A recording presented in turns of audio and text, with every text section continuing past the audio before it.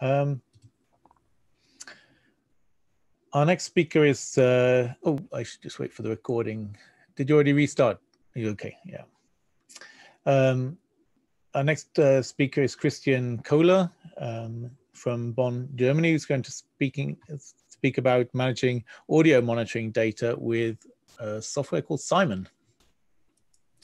Yes, hello. Let me just start my presentation. Um, here we go. Um, you might be wondering why I make you listen to a talk about uh, audio data, which is not a core topic of uh, the TDWG. But actually, um, this is only the, um,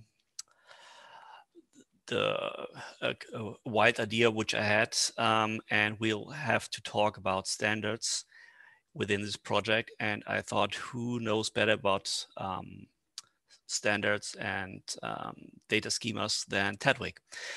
Uh, but first of all, I have to tell you some about my idea uh, to put it into some context. Um, there was a new format at TDWG 2017, I think, um, which was called Wild Ideas, where you um, just talk about something that, that is not really ready, um, not fully designed. And uh, when I was asked to come up with a new system for managing audio data for a project that was supposed to start last year, uh, it never happened due to various reasons. But still, um, I had to think about um, what do I do with the data? And wouldn't it be a good idea to think the the whole story before starting? So um, what you have a lot of times is uh, you, have, you create an application with uh, nice interface, nice data schema, and then you want to um, send it out to the world, send it to the aggregators, um, and then you start to think about, well, how do I do that? And um, I didn't want to uh, get stuck in this situation again. Having worked at uh, various uh, projects uh, managing data, um, sometimes uh, people come up to me and ask, um, well, uh, I've, I've some really nice data. Can you upload it for me? And being a nice guy, I say, yeah, sure. just give me your data. I will upload it to whatever you want. And usually I would expect something like this. Nice structured data, um, nice um, and correct uh, metadata, but usually this happens. And I'm, I'm not uh, exaggerating. I, have seen it all. I, have seen um, a plastic bag full of MD tapes uh, mixed with uh, floppy disks. And uh, I was told, this is my research work of 25 years. Um, just uh, upload it and uh, I don't care how you do it. Well, you can imagine it's um, this is nothing you want to get stuck with. So I was thinking about how could I do it better because the the supposed uh, project uh, wanted to produce some terabytes of uh, monitoring data from hundreds of recording mm, places uh, over the time of a year. And I didn't want to end up with a box of uh, SD cards um, at the end of the project. Um, so I tried how, how could I make it easy for the, the researchers and for, for me at the same time. Um, I'm going to talk about uh, this a bit. This is not really a TDWG um, uh, topic. Uh, it it's get, gets interesting at here at the API to disseminate the data. But to give you the whole picture, here's the rough concept of, of Simon. Um, we we're looking for some audio recorders that were cheap, um, that were programmable, that uh, you could toss in the field and wouldn't have to worry about. Uh, and we stumbled across the um, the AudioMoth. I've in case you're looking at, the, at my video, I have one right here. So you see it's, it's a really small device. Um, maybe somebody could put in the, um, the link in the, in the show notes. Uh, it costs about 50 uh, euro or 50 uh, US dollars. You can run it uh, a couple of weeks uh, out in the field, uh, record on SD card. it ranges well into ultrasound um, and you can um, program it to, to run scheduled, let's say once every hour for five minutes or every morning at Doom or whatever. Um, but it has no uh, Wi-Fi, has no uh, means of communicating to the world. Um, to make it easier for the um, researchers in the field, uh, I was playing with a um, Raspberry Pi with a um, touchscreen. So you can go in the field and just extract the data and all the metadata. Uh, I'm not going to go into details too much um, build a little prototype. This is what, what it would look like. And uh, then the, um, the data collector would automatic uh, upload it to an online repository, cloud-based um, system with a long-term storage, the usual user and group management, um, included some um, yeah, something to play around with the uh, sound files and, and uh, explore them, play back, uh, filter for signals, analyze, uh, make make annotations uh, or comments, or um, share the data. Just send out a link to a data set or data, or download whole data sets, or uh, that is where it gets interesting. Um, disseminate them to, to data portals.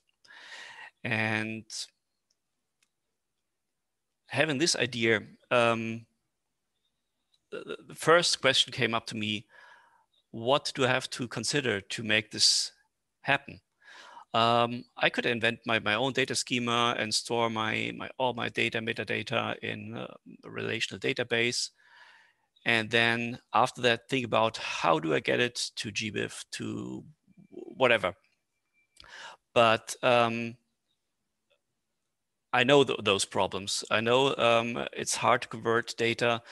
Um, we have the um, had the talks in the alignment group with ABCD and Darwin Core, Darwin Core Archive, and if you don't consider the the right data schema from the right beginning, you will always have the the problem of um, how to convert and conversion always means, or a lot of time means that you lose information. So I'm here today to um, get some opinions. What uh, what would you uh, your preferred data schemas be? Where would you like to um, see your data um, published? And um, have not started with a project yet. It's still a wild idea, as I said. Um, I'm, I'm key to hear what uh, what TDWG thinks or what uh, people at TDWG think, uh, what they would like to see, um, what what standards, what portals, what data aggregators are the ones to um, be targeted first, or um, do we have to have multiple strategies to um, disseminate data, to store data? And well, yeah, that's about it. Um, I wanted to keep it short to have some time for discussion because I'm really eager to hear what the experts think. Thank you. That's great. I think we have a few experts here. Um, it did occur to me that, and I'm just jumping in and asking my own question first, I'm afraid, that if you use the iNaturalist API, you can actually just upload sound to there uh, with all the metadata, and then you can let other experts do the identifications for you and, and things like that. Um, and you just have to deal with the collecting of the sound in the first place.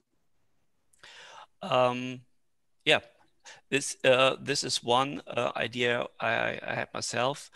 Um, it's sometimes a bit hard if you work with research institutions because they want to keep their data close. They want to have uh, a server where they can look at and say, here's my data, uh, it's all mine, and if uh, I can do whatever I want. Um, to be honest, that's the beauty of iNaturalist because you can actually keep the license closed on it.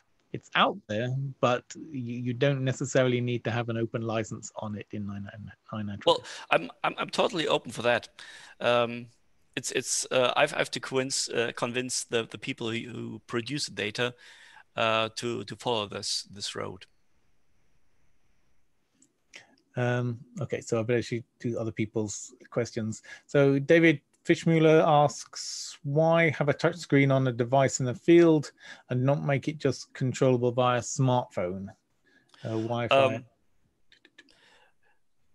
good question. Um, we we are thinking about that um, because um, for for this one specific project, we needed something. Uh, that is cheap and uh, deployable in a, in a wide range of, of use cases. Um, and um, Raspberry Pi for, let's say, 50, 60 euro or do, uh, US dollars is uh, much easier to distribute and to, to maintain.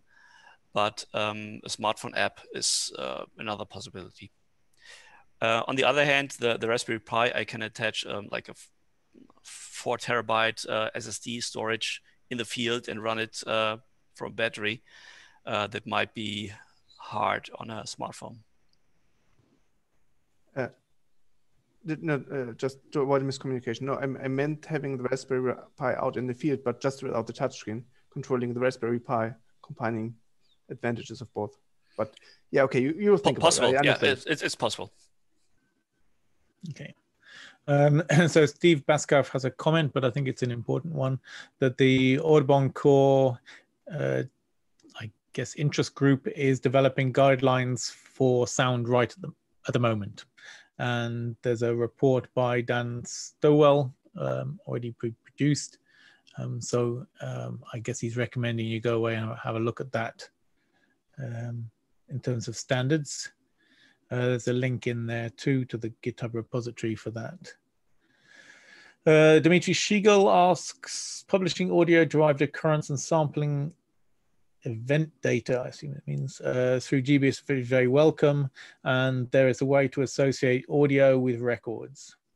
I would be interested in good capture of processing steps and standardization of those, including sonograms.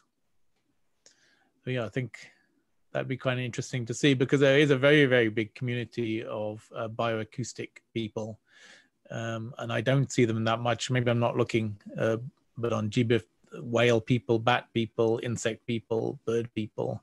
Um, actually I'm, I'm trying to to um, get this bridge because on the other hand i'm, I'm talking to the uh, bioacoustic people uh, and and make them uh, aware of, of uh, the data portals, the aggregators, and uh, the advantages uh, they would have to, to publish the data on a one of the big aggregators. Um, and a lot of times it's just they don't know how. I think Dimitri wants to pop in. Uh, thanks. Yes, I, that sounds actually very similar to what I presented on the sequence-derived data. This is an isolated community, never seen at TDWG, and uh, they like but very often if explained well the benefits of resurfacing their data in addition to their own portal their own playgrounds when they meet each other and they mix their sounds and so on this resurfacing through general biodiversity discovery platform is very beneficial for them. They they have different uptake different use and reuse in the context they cannot even imagine. So um, i see this is like we actually on a very similar mission, and I would be very interested in talking about that in more details.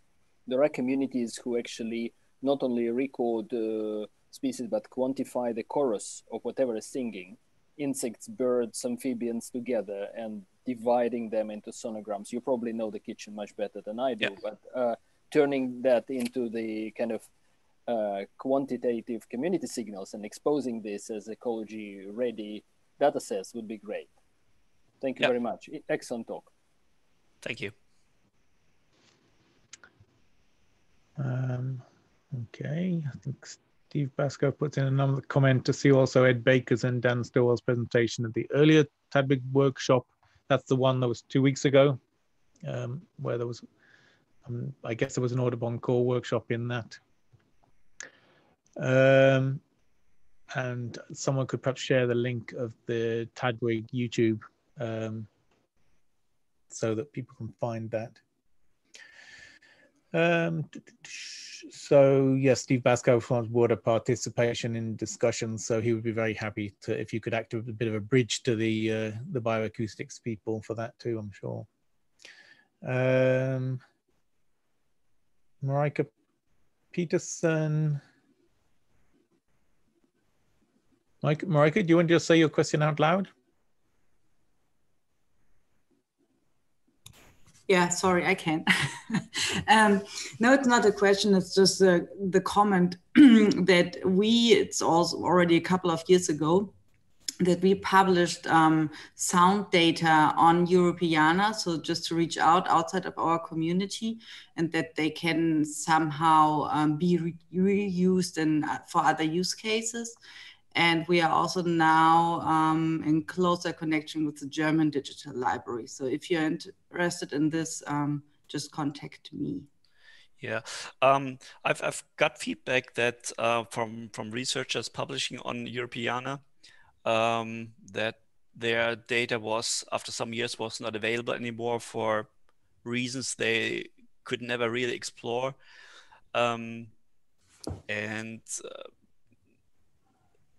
this this is uh, like for me it's it's one one of the the uh, big aggregators I'm targeting at, but um, from the feedback I got, people were not always too happy with that.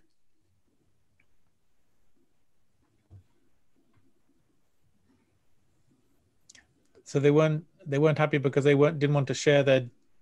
their... No, because they, they, they shared their data, they, they had it uploaded uh, there, and um, when they look back after two or three years, they couldn't find their data anymore, and they um, I'm not sure if uh, what the reasons are, but uh, that's just the, the, the feedback I got. And uh, usually, it's so like Europeana just links to our databases, so that's maybe not the fault of Europeana, but maybe. No, I'm, I'm, not saying that, but maybe the just the workflow was uh, too complicated, or um, the the original data source was for some reason not available. Uh, and for the uh, German, um, are you talking about the um, Tierstimmenarchiv Berlin? Mm, no, well, that's another aggregator. I'm talking about the German Digital Library.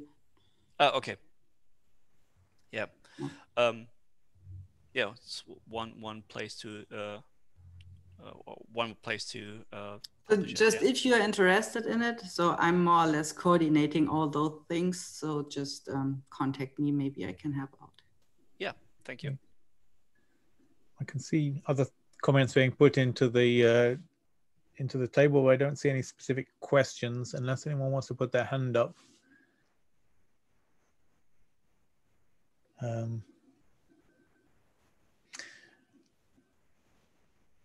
So we have time actually for some more general discussions. And um, I was trying looking through the talks and trying to, uh, these are contributed orals, uh, but then somebody uh, in the program committee decided how to group these. And I was trying to figure out how, what the theme was.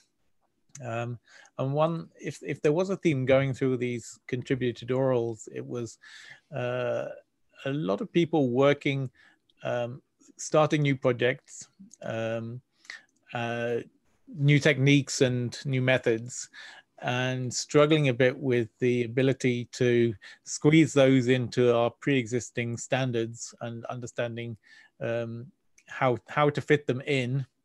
Maybe building their own standards or their own data structures. Um, and i wondered if anyone out there had some advice on how how best to do that because nothing ever seems to fit the first time. Um, does anyone have any comment on that? Dimitri?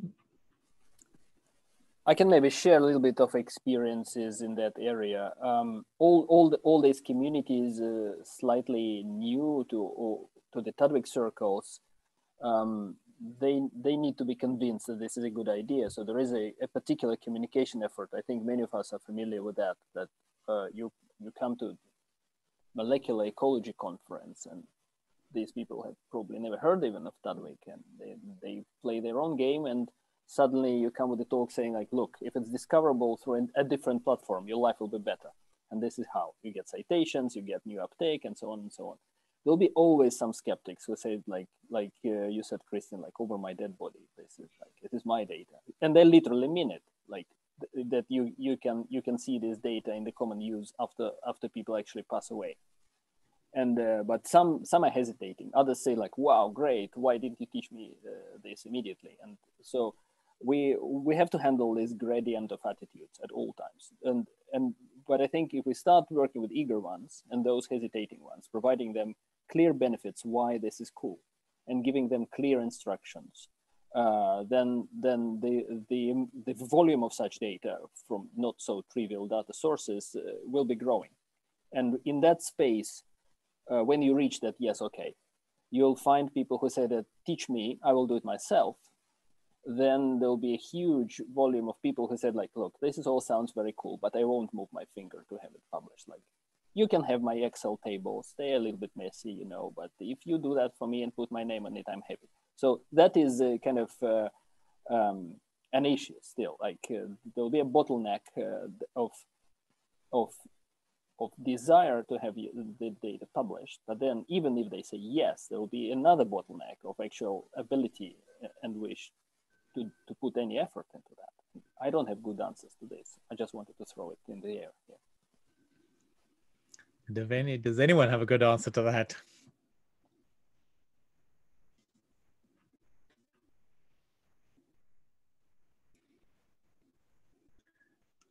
I can only add that for us, it's just the same. It happens the same thing. So, repeated situation here. I think what has was helped uh, to some extent is now that journals are a lot more rigorous about uh, getting people to put their data into their publications.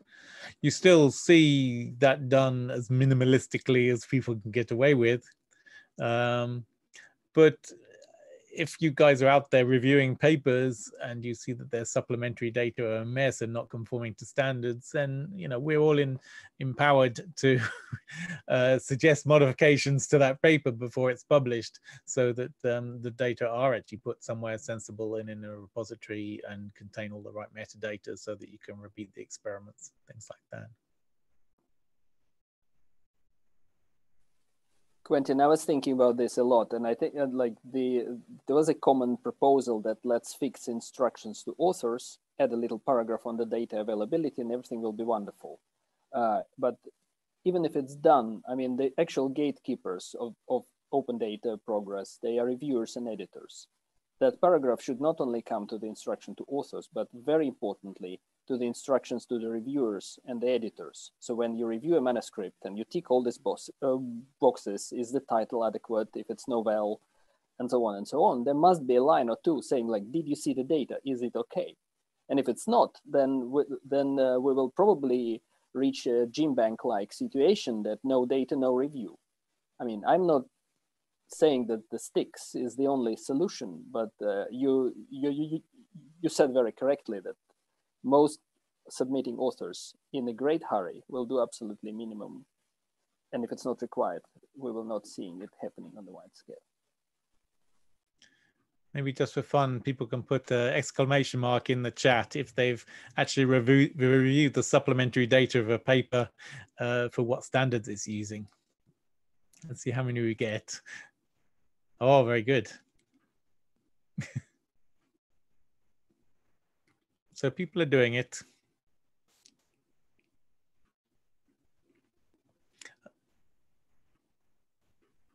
James, did you want to say something? Yeah, I just thought I'd say that, you know, I've always been a big proponent about repeatable science. And of course, the standards are essential to how repeatable something is. It's one thing to just throw a bunch of data up there, but it's another thing to make sense of it. uh, in, in, any way.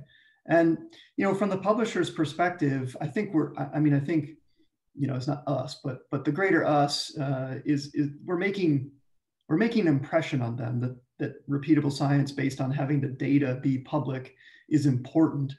Um, but of course, I, I think we're still trapped in that. How easy is it to do something? you know and that's where it comes to the science the researchers who are busy they don't want to take hours and hours associating independent records with things you know it's it's painful uh, and so you know pensoft gets that and, and, they've made that a little friendlier but lots of course haven't uh, and so you know i think our relevance is only increasing in the sense of the interoperability the ability to evaluate repeatable science uh, and so i think we have to keep our you know finger on that uh, but you know, I, I, still feel like we're really slowly climbing that hill. And I don't know what makes that faster because it makes so much sense. It's so, in this day and age of fake news and so, you know, it makes so much sense, but we just can't, we can't seem to nudge that thing to go any faster. I don't know why.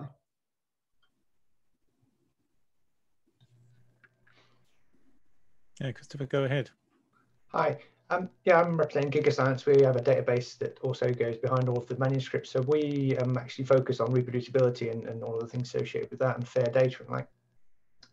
Uh, so I spend a lot of my time looking at manuscripts, not just biodiversity, but across the board of life sciences to try and make sure that they are reproducible.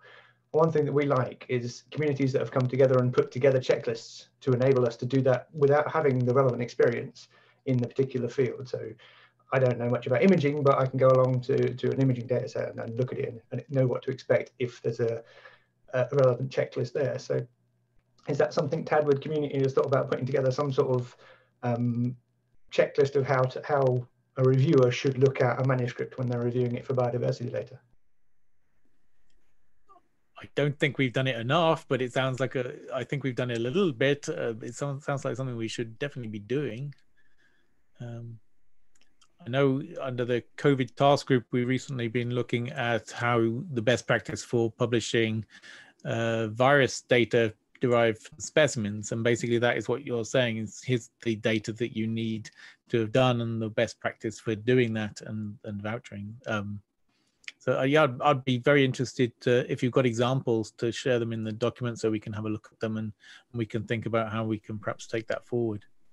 Okay just to add to this, a couple of years ago in Leipzig, when GeoBon organized a meeting uh, trying to solve or increase the availability of data from ecology, there were the editors in chief of very heavyweight ecology journals ready to publish a joint editorial statement, uh, which is which is a big thing. People do pay attention to this. Uh, but what was missing, and I think is still missing, uh, is that um, a kind of um, a community agreement of the what what should be in place for you as a reviewer or the editor to say, yeah, okay, go to review. Uh, we we do, we don't have this checklist, and I think it would be a wonderful idea to build one from TDWG or develop the existing ones if they are existing somewhere. Oh, there is one from Rio. I can see team is posted. James, go ahead. Another thing I was going to say, and just the sense of making things easier is uh, having our software, uh, content management systems, you know, of, of various kinds, um, be able to produce data in formats through sort of workflows, templates that allow research data to be pushed out in, in a very easy way, depending on where things are being published. So our sequence, just as an example, our sequence database um, we use that across many projects, and we have templated the ability to go to short read, to go to bold, to go to all those things. So, you know, our researchers literally just have to tick the boxes. These are all the things I want, collect them into a batch, into a set, and then they just push a button and say, make this, you know, make this go to bold. All the metadata, we understand what all those are. And if it doesn't validate, we have a validator running over to say, ooh, you can't do that yet because you're missing these fields. Uh, we make it as simple as possible. And I know they have really appreciated this. So some of that can be on us just to make our applications be friendly in order to make it easy for them to share the data the way we want them to. Yeah. I think making it easy for people is definitely a good way to go because it no one should ever think that the data management is easy or quick. Uh, it's it requires skilled people and it takes time to do nicely. I just wonder if any of the other speakers want to say anything, uh, uh, anything particular in the grand discussion we're having now, um, the general discussion. Um,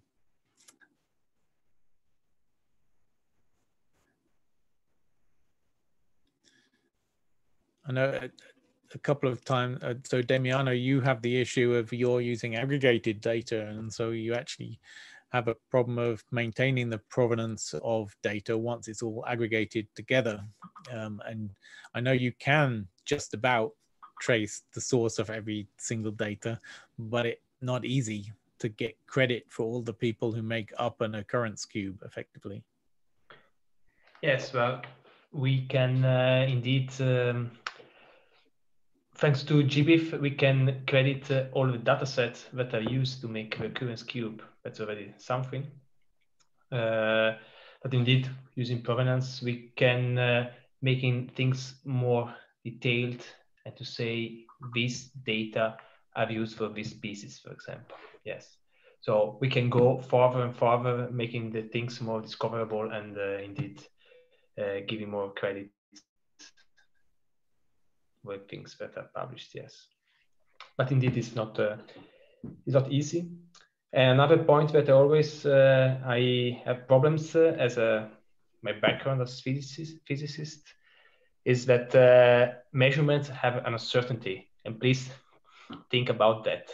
Um, and I always concern. I always say that uh, Quentin knows that quite you're bored probably about this, uh, but uh, I'm really concerned, and uh, we need to think about this because otherwise we, we produce a lot of biased data. Um, and I don't know, I'm not a specialist in DNA, but uh, I suppose there is uncertainty also in assigning species from DNA sequences probably. And uh, I'm quite curious how is going on about that because up to now in my institution and, uh, and so on, I never heard about uh, speaking about uncertainty assigned to this kind of measurement. So maybe it's an open question to the specialist. Well, Dimitri, that's definitely for you. Uh, so uh, uncertainty can be measured uh, around sequence data actually a little bit easier than about, let's say, result of the museum digitization. All, all identifications, for instance, they are probabilistic. Human or machine made, there is certain probability of the match to your target name being correct if you have sequence data, you can actually calculate this probability and you can sort and rank your data by how happy you are about the result. It is much harder to do that about human identifications when they used a microscope 200 years ago and who knows which identification keys. And so you basically rank human reputations, which is very, very sensitive thing to do. Uh, uh, so um, I'm not sure um, if if this is um, coming to kind of common practices, but I think I think uh, calculating uncertainties they they are uh, common in georeferencing context, right? And uh, something like that uh, should happen to to all uh, measurements and interpretations, ideally, because this is this is this is how you can deal with the context specific quality issues. But oftentimes you're just lucky to have any data to start with. So uh, James, you can help me out probably. Well, I was just going to say I, I, completely agree with Damiano that you know we have to be conscious of this, and and it's it's hard because you know in the sense of standards and things, we don't want it. If we put uncertainty fields on everything, um, it makes things it makes our standards bigger it makes them heavier it makes more you know again that researcher is going to say oh man if i have to fill out this profile uh, it's going to take me a day. Um, but on the other side we have to be open and, and i think we suffer a bit for this because of the way the science is done. So the, the sequence itself is easy enough and we have error checking what that comes out of a sequencer but the trouble is as soon as we walk down the analysis path we are black boxing and black boxing and black boxing our way and sort of gradually moving away in some ways from the truth uh, in order to find another truth. And I think we have to be honest in our, you know, this is where publishing the workflows is critical to say, well, I use this software on that was this version at this time and it gave me this. And if you repeat this six months from now it won't give you the same answer. I can guarantee it if you don't use exactly this workflow. And even if you do the uncertainties through all of those different things that you pop through will make it almost sure that you cannot get the same answer again. We've, we've done tests of these things. And then the, the next part which has always been complicated is tying organisms to these analyses, uh, you know, in, in, the DNA world. And uh, we struggle a bit there, but the, again, openness, what are the algorithms we're using? And can I see it? You know, can I look at it? Someone like Damiano is going to get more out of that and have a different opinion about that algorithm than I might with my expertise. So it's not just about the data's accuracy, it's about what are those algorithms doing to give us an answer. And I think that's really important too. I'm going to have to draw it to a close there, but thank you very much. Um, so I'd really like to thank very sincerely to all of the people who spoke today. Um, it's been really interesting and I um, you was very patient with my moderating. Thank you very much for that too. Um, I need to just, uh, I was going to show uh, one thing I forgot to do early on was show you this.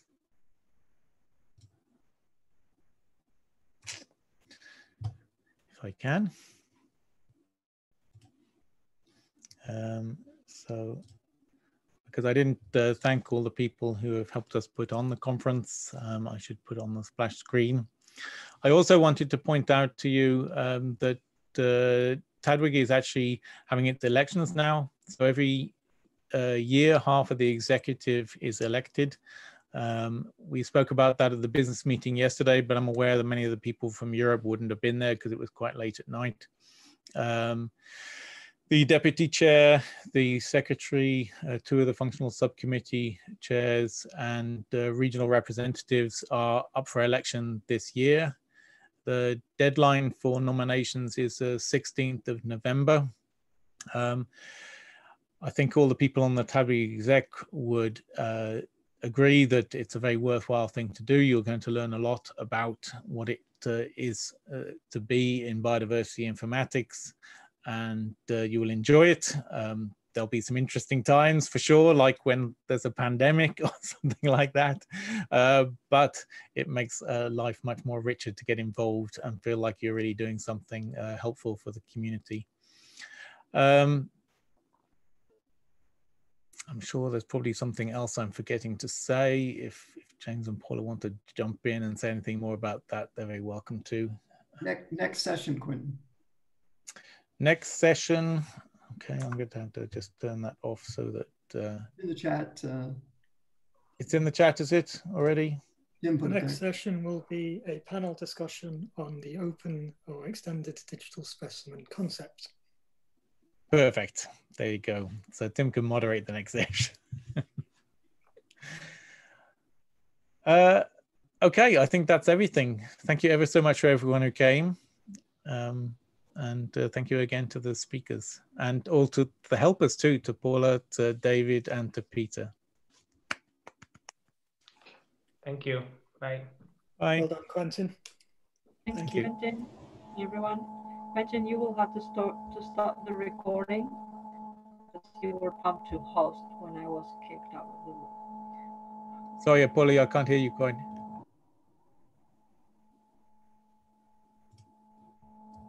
I think oh, we need to stop the recording. recording.